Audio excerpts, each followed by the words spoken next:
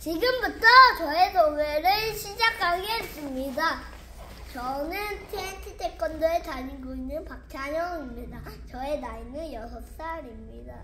앞으로 여러분들과 친하게 지내고 싶습니다. 감사합니다.